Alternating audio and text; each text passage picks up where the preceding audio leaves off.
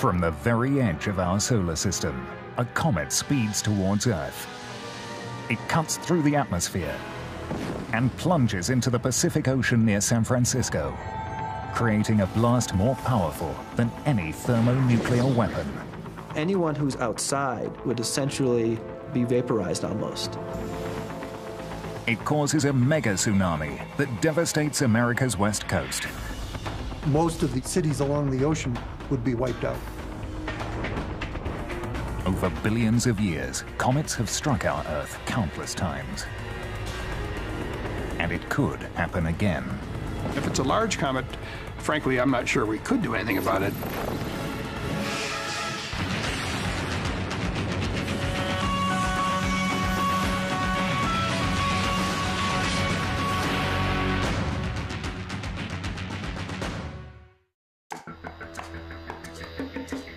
History, comets have been seen as bad omens.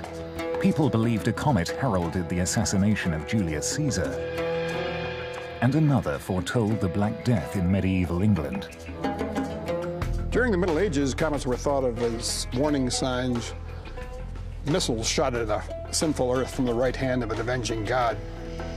Some cultures depicted them as blazing swords, slashing the nocturnal sky as an expression of divine wrath.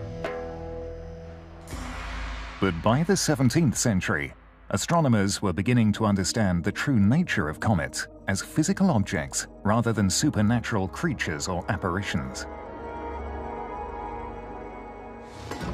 Using Isaac Newton's principles, astronomer Edmund Halley calculated the orbits of 24 comets. Halley was the first to note uh, along with his colleague Newton, that comets are celestial objects. They're in orbit around the sun just like the planets, except they're on very elongated orbits, so they can cross the Earth's orbit once on the way in and once on the way out. Halley boldly announced that three of them, seen in 1531, 1607, and 1682, were in fact the same comet on its periodic visits to Earth. He predicted that the comet would return every 76 years and he was right. Halley's Comet did return in 1758, as it has done roughly every 76 years since. Halley's discovery altered the status of comets, from mystical omens to real and physical threats.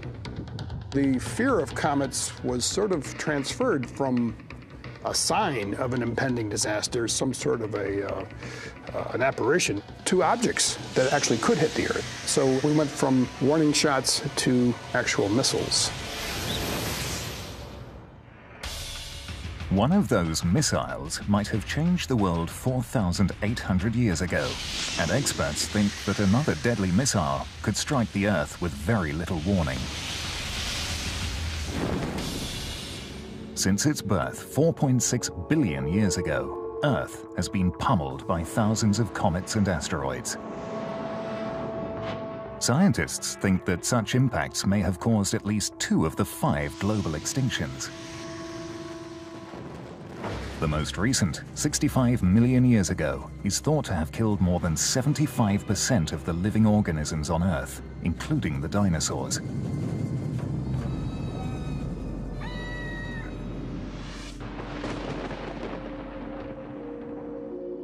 These major cosmic strikes seem to occur at very long intervals. The time between impacts uh, depends very much upon the size of the object impacting. For example, an object a kilometer in diameter may hit once every 10 million years, whereas objects 10 meters in diameter might hit the Earth a couple of times a week. But some scientists now suggest that during the last 10,000 years, the so-called Holocene epoch, Earth may have suffered a series of more frequent, large, catastrophic impacts. They argue that if a number of newly researched geological structures can be confirmed as comet impact craters, this would indicate that comets have struck Earth more frequently than previously thought and that we may be due for another devastating impact. If we are able to prove that we have this many craters within the Holocene, it implies that there should be a large impact on the average of about every 1,000 to 3,000 years. And so we should have another impact within about 1,000 years. To date, scientists have found only about 170 impact craters on Earth, of which only two were caused by substantial strikes within the last 2.6 million years. Finding more large impact craters could indicate that a major comet strike within the next millennium is possible. Dr. Bruce Masse and his colleagues think that recent large craters are to be found in the oceans.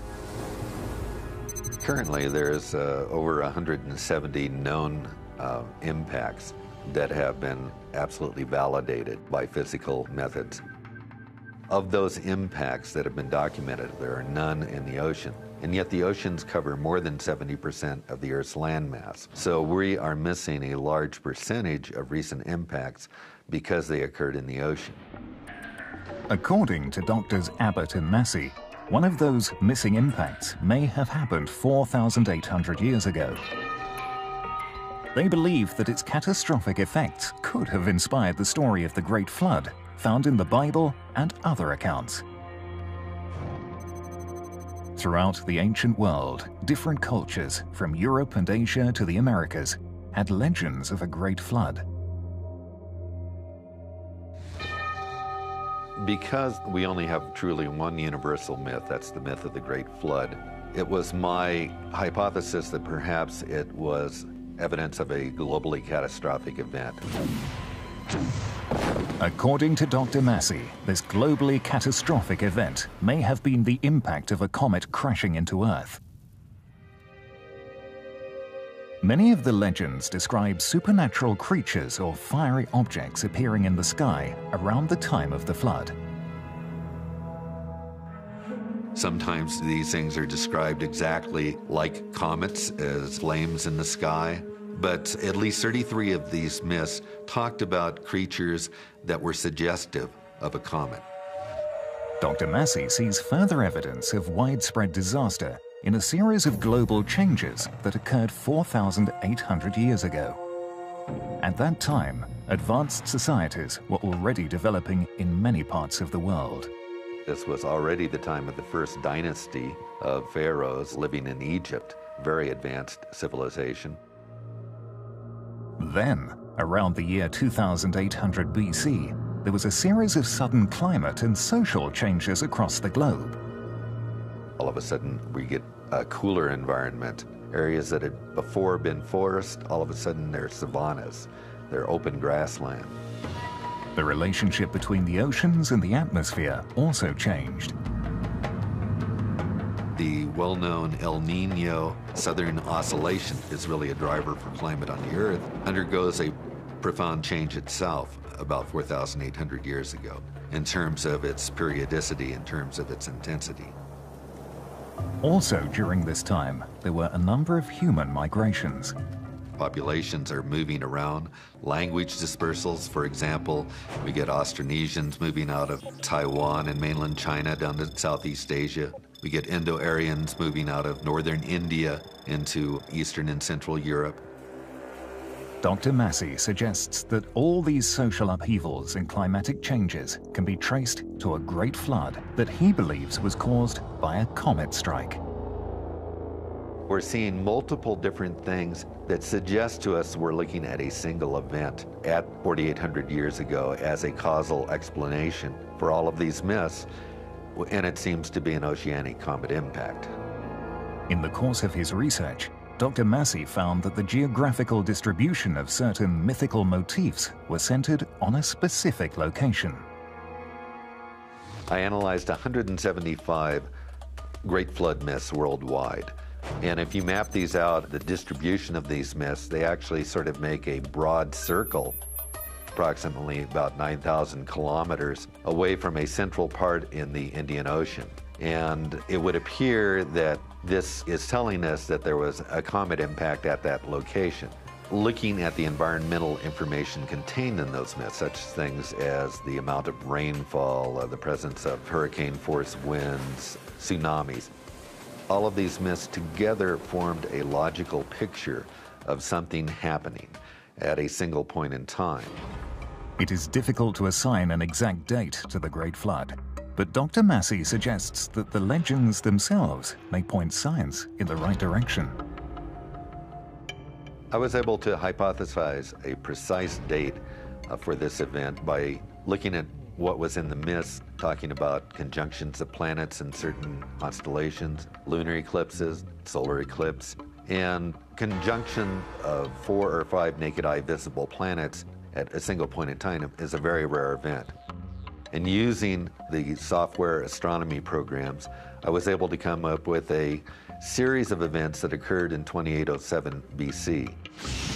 Dr. Masse proposes that a massive comet, perhaps three miles wide, may have crashed into the Indian Ocean 930 miles southeast of Madagascar.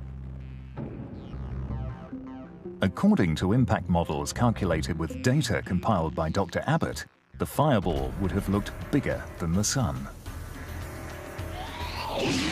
The comet would have hit the waves at over 100,000 miles per hour, with over 30 million megatons of energy, generating a mega tsunami that would have devastated coastal lands and human settlements on four continents. Torrential rains, created by the vast injection of seawater and impact debris into the upper atmosphere, would have flooded land across the world. Small aerosol impact particles would have been ejected into the stratosphere, blocking the sun's radiation and generating cooler temperatures. Based on the mythology and based on the archaeological record that we see, I would suggest that perhaps 50% of all people died, either directly as a consequence of the impact and impact related events or from starvation in the months that followed. But mythological accounts are not proof.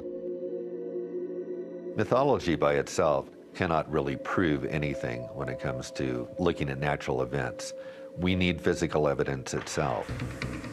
Scientists are searching for that physical evidence in the Indian Ocean.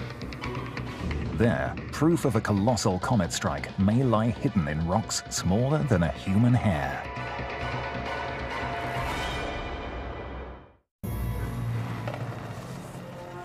Some scientists think that a massive comet could one day strike Earth, causing a mega disaster. It could have happened before. 4,800 years ago, a comet may have killed more than 50% of the Earth's population. Ironically, many experts believe that comets may have brought to Earth the basic elements that make life possible.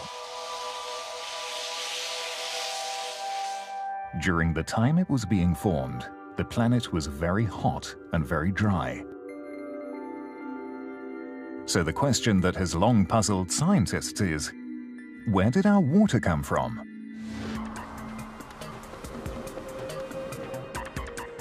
One theory is that comets striking Earth billions of years ago provided the water that would eventually make up the planet's oceans and seas.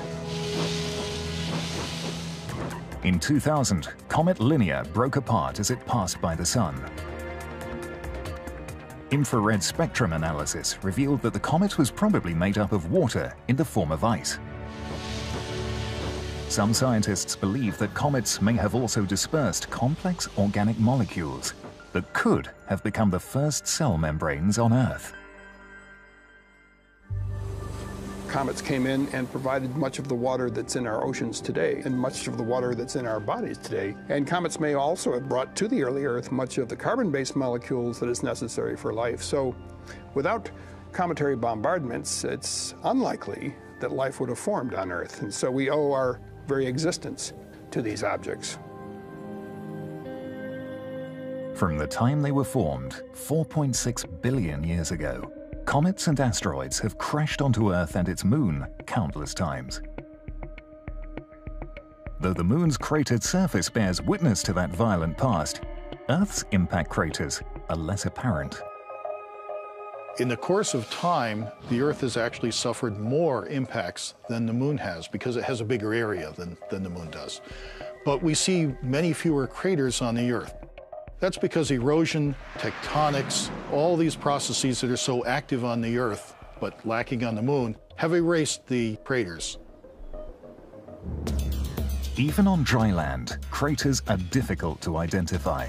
Impact craters are one of the rarest of the landforms on the Earth. In fact, only about 170 bona fide impact craters are recognized on the Earth. Of these 170 impact craters, none is located in deep ocean waters, even though oceans cover 70% of our planet's surface. But there may be a number of missing craters on the seafloor.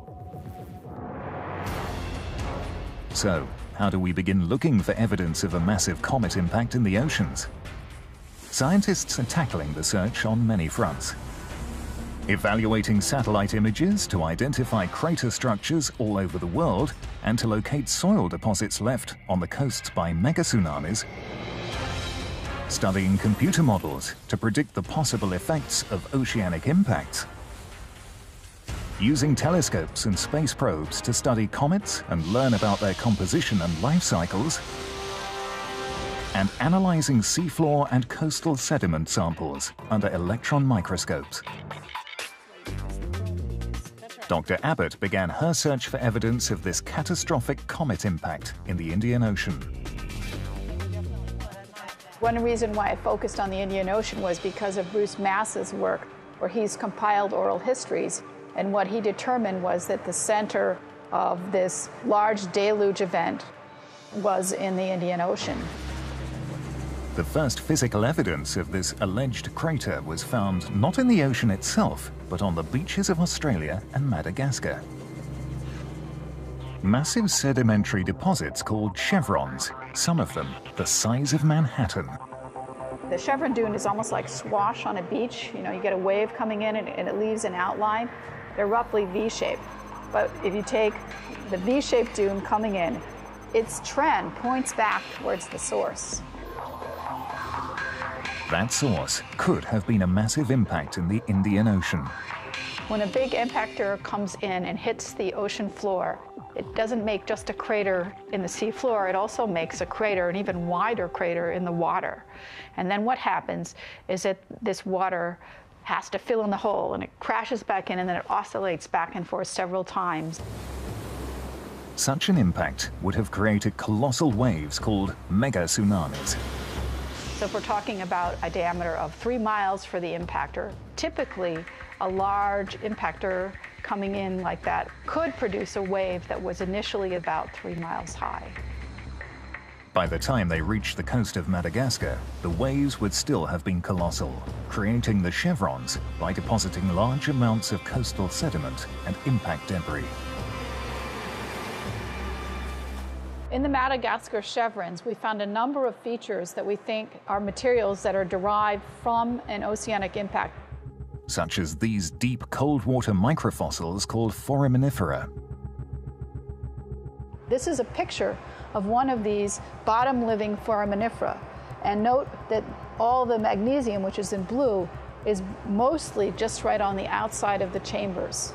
And we think that this may be due to boiling of seawater in the chambers right after the impact.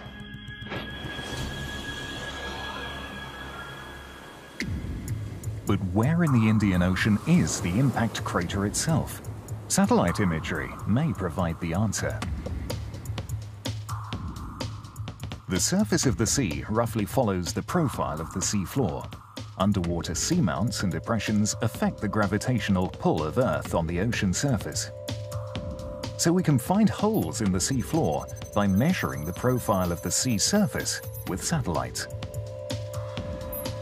I took the chevron dunes and I used their trends to look for possible craters. The direction that the chevron dunes point converges very closely on a location where you have a hole in the ocean floor, a nice round hole.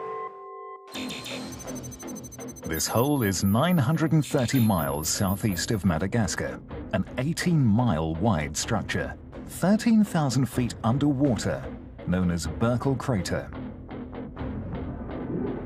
But a round hole in the seafloor is not sufficient proof of a comet impact. Dr. Jay Melosh, a planetary scientist at the University of Arizona, is not involved in Dr. Abbott's research, but he explains that geological proof of a comet strike would be found at the impact site. When a comet strikes the Earth at, say, 30 miles a second, it causes huge pressures. In the process of hitting the rocks, those rocks are changed in a way that no other process on the Earth can. If we can find that changed mineral in the impact site, we're sure that it's an impact. Ships crisscross the world's oceans, gathering deep seafloor samples. Every one of those red dots represents an area where scientists have collected deep sea core samples, soil samples extracted from beneath the ocean floor. Thousands of these cores are stored at the Lamont Doherty Earth Observatory in New York. This core is from the southwest Indian Ocean. It's from the vicinity of Burckle Crater, and you can see that it's a fairly dark color. The dark color is because it's from quite deep water, about 4,800 meters deep. This is enough, I think. Okay, so you want me to look for splash? Dr. Abbott analyzes the seafloor samples under a scanning electron microscope with Drexel University's Director of Microscopy, Dee Brager. When comets or asteroids hit the bottom of the sea, they tend to vaporize or, or melt uh, material either from the rock that they've hit or the, uh, the impactor itself, which condenses into submicroscopic splashes of metal that are shot into grains of sediment, into microfossils, into whatever is down there at the bottom of the sea in microscopic amounts. What we found in this sample were little bits of crushed rock. These pieces of rock looked as if they'd been hit with a hammer. And then on the rock, we found tiny bits of metal, nickel rich metal. And nickel is not very common on the Earth, so we think that this nickel is bits of the impactor that were vaporized.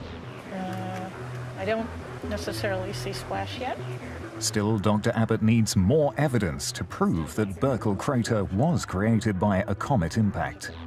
What we hope to learn from this piece of deep sea sediment is what's the source of the impact that produced Burckle Crater. We really don't know enough about comets and asteroids to be sure right now if we can tell. We may not know enough about comets, but we know they're out there on the fringes of the solar system. Billions of them. And they are just waiting for a passing star's gravitational force to launch one on a collision course with Earth.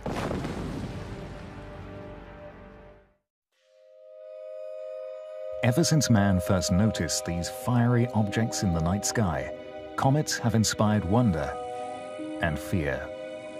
People have been observing comets for thousands of years. They fly by, we look at them, and we say, ho, ho, you know, something is happening that's very unusual. Their enigmatic history dates back to the dawn of our solar system, 4.6 billion years ago. Our solar system emerged from a cloud of gas and dust in motion. From it, the hot inner solar system planets Mercury, Venus, Earth and Mars were formed, leaving the leftover rocky pieces of that process, the asteroids, in orbit just beyond Mars, in the asteroid belt. The cooler outer solar system planets formed Jupiter, Saturn, Uranus and Neptune, yielding as remnants the icy objects we call comets. There's three basic parts to a, an active comet. The tail can be either gas or dust, and it's typically millions of miles in length. The coma or atmosphere can be hundreds of thousands of miles in diameter, but the nucleus typically is only a few miles in diameter, and that is the, the heart of the comet, the ices and the dust in solid form. Billions of years later, thousands of objects linger in what astronomers call near Earth proximity, that is within 120 million miles, which is close on a cosmic scale. There are two types of near-Earth objects that concern astronomers. We have the asteroids, which are far more numerous than the comets, but we can discover them 20, 30 years in advance of any threatening impact. The comets, on the other hand, are a different story. Unlike the more predictable asteroids, comets may appear at dangerously short notice. If we do find a comet that's on an Earth-threatening trajectory, we would only have a few months to deal with it. A comet impact in the near future is very unlikely. But the potential threat is made more critical by how little we know about these celestial missiles. We know a lot about asteroids from studying meteors for many, many years, but there's not nearly as much data on comets or how they're put together physically. As mysteriously as they appear, comets do not materialize out of nowhere. They seem to have two cosmic homes. The so-called short-period comets, such as the famous Halley's Comet, come from an area just beyond the orbit of Pluto called the Kuiper Belt. The Kuiper Belt comets, we have much greater luck tracking them, knowing where they are, having them repeat so that we're, okay, here's this, this is the same one we've seen five years ago. But there is a more intriguing collection of comets, which originates much further away from Earth and could pose a greater hazard. The second source of comets is the so-called Oort cloud, which extends out to the very edge of our solar system, halfway to the nearest star. And this is a spherical distribution of comets. There are billions of these so-called long-period comets in the Oort cloud. The Oort cloud tends to send comets in at random. They come in from all directions, and we never know where they're going to come from and when they're going to come by. And most of those Oort cloud comets come in and go out, and we never see them again. Their size and speed make them capable of multi-megaton impacts, powerful enough to cause a mass extinction if they hit Earth. Let's think of ourselves riding along on the comet as its uh, lifetime progresses. It starts out in the Oort cloud, and at that distance, of course, the sunlight is so remote that these ices are still rock hard. And so you've got a jet black, icy dust ball in space that slowly is perturbed out of the Oort cloud by passing star, perhaps.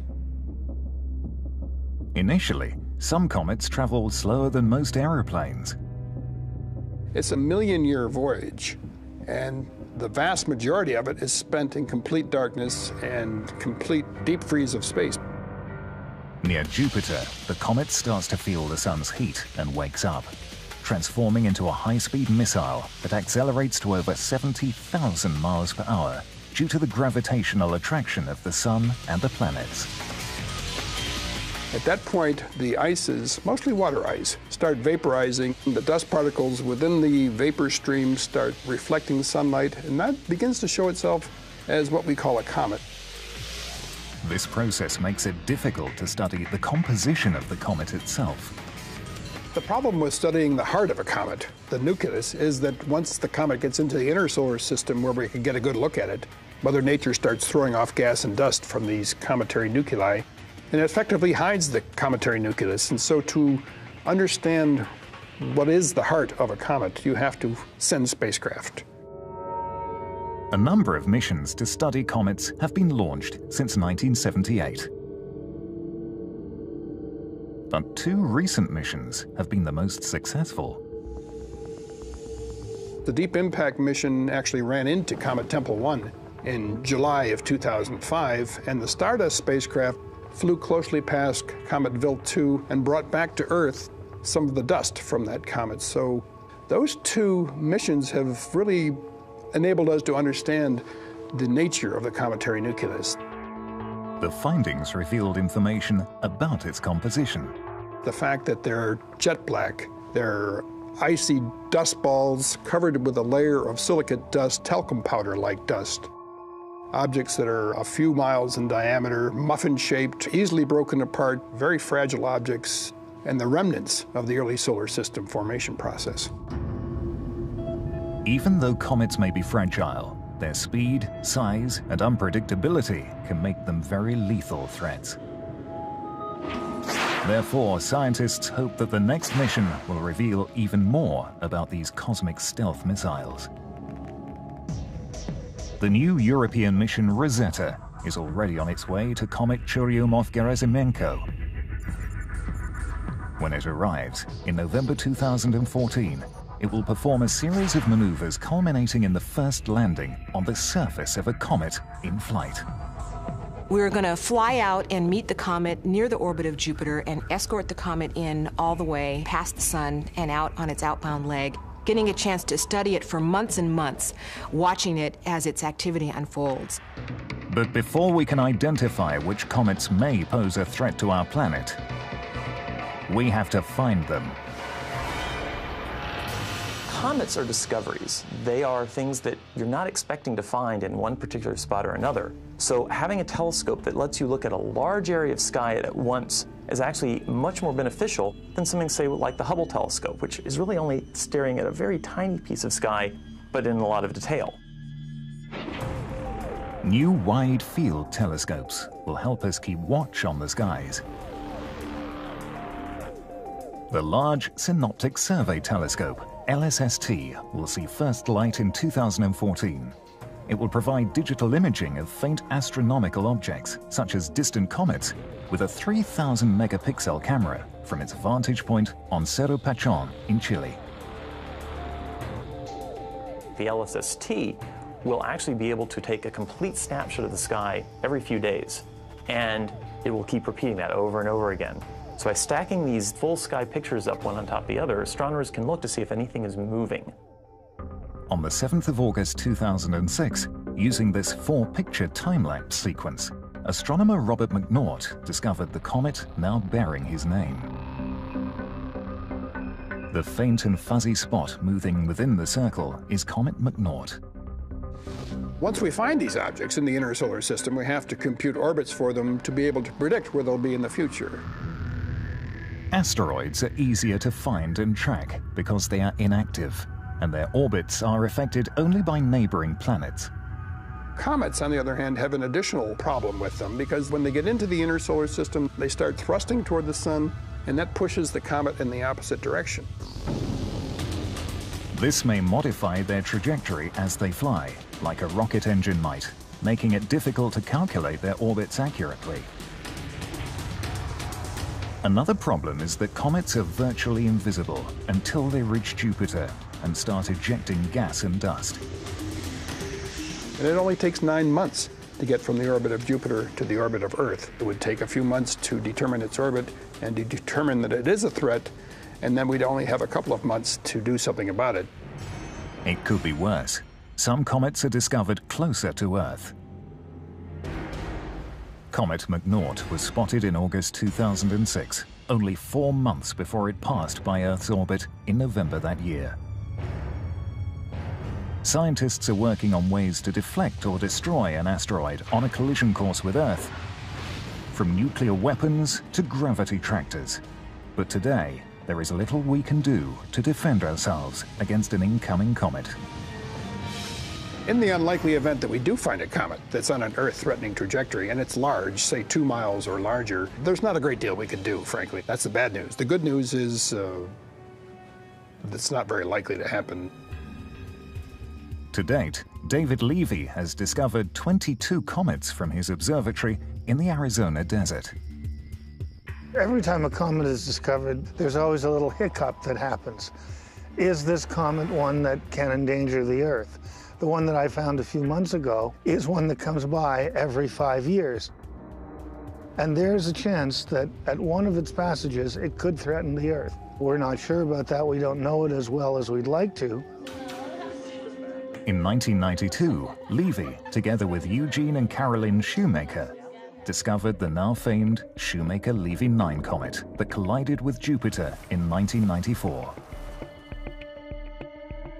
The important thing to remember about comets is that they're, they're, they're like cats. They, have, they both have tails, and they both do precisely what they want to do.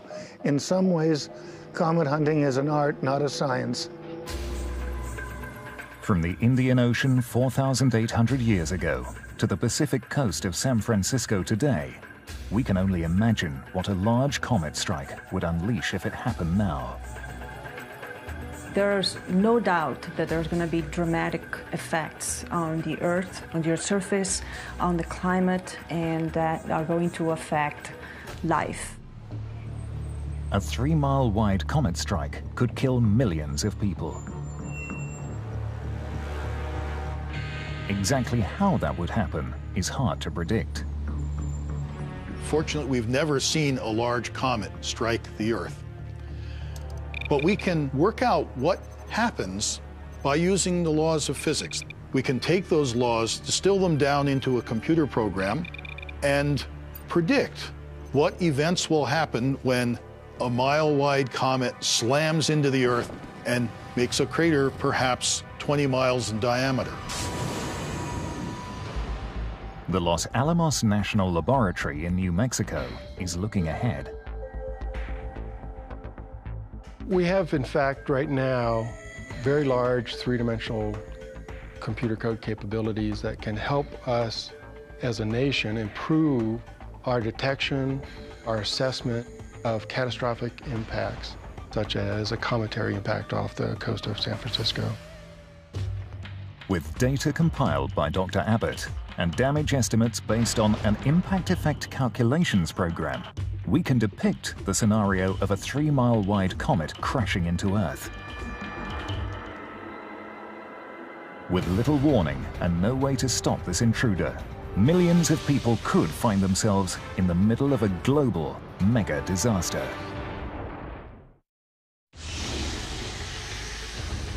Could a massive comet crash into the Earth again? This science fiction scenario could become a devastating reality. Based on data gathered by Dr. Dallas Abbott and calculations performed with the University of Arizona's Impact Effect Calculator program, it might unfold like this.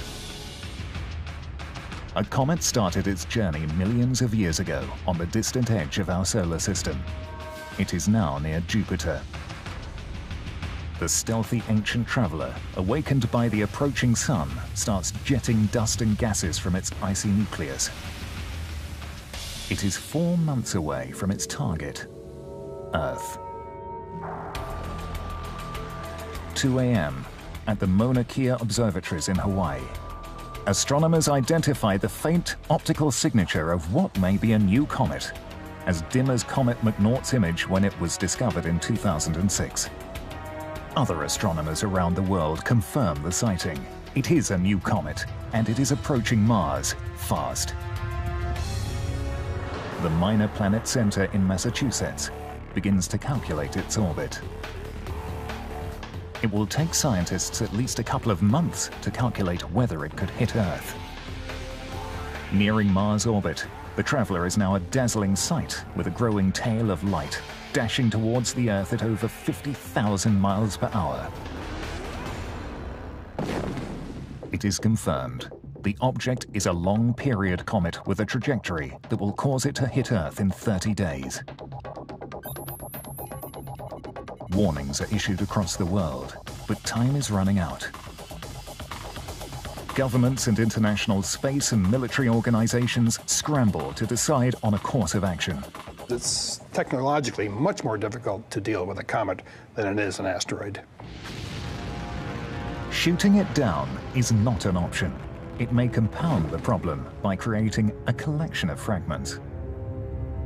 Diverting its trajectory with a spacecraft is not possible. There is not enough time to prepare and launch such a mission. Now, about 2 million miles away from Earth, the comet speeds at more than 100,000 miles per hour.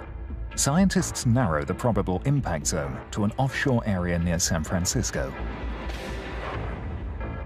The comet is about to collide with our planet's most effective shield, the atmosphere, but it will provide no defense at all. So a large comet, several miles in diameter, would simply punch right through the atmosphere, and uh, it wouldn't matter that the comet is fragile and underdense and porous. Bridges and freeways are jammed as a panicky population tries to flee the city. but it is too late. The three mile wide comet hits the Pacific Ocean 100 miles west of San Francisco. With more than 30 million megatons of energy. When it impacts the ocean surface, is going to essentially vaporize the water almost immediately. The impact unleashes a blast of thermal radiation towards the city. You're talking about minimum of temperatures around 1500 Kelvin. So anyone who's outside when that event occurs would essentially be vaporized almost. Wooden structures, dry grass and brush all ignite in a flash. Flames burst out around the city. As over 7 million people in the Bay Area are scorched by the lethal heat. A 9.0 earthquake caused by the comet's impact shatters structures and buildings all over San Francisco. The Bay Bridge collapses. The Golden Gate Bridge yields to the inexorable power of nature. Entire districts in the city cave in as the ground liquefies under their foundations. Cracks appear in the ground, transforming the landscape. As the minutes tick by in slow motion, three-inch fragments of debris from the seafloor pummel the defenseless city. In the midst of chaos and destruction, a moment of eerie silence precedes the sonic bang. The deafening air blast breaks through at more than four times the speed of sound, destroying whatever had been left standing. The resulting shock wave and the overpressure produced by that shock wave could lead to the destruction of a vast number of buildings in San Francisco. You're probably looking at most buildings being destroyed. Glass windows shatter all over the city highway truss bridges collapse.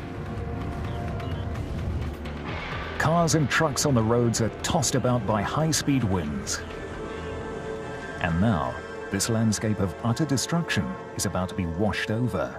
The comet's impact has generated a massive mega tsunami just 100 miles offshore. By the time it hits the coast, the enormous wave swamps the Golden Gate Bridge, crashing into the bay and flooding the city. It also travels west toward Hawaii at more than 500 miles per hour.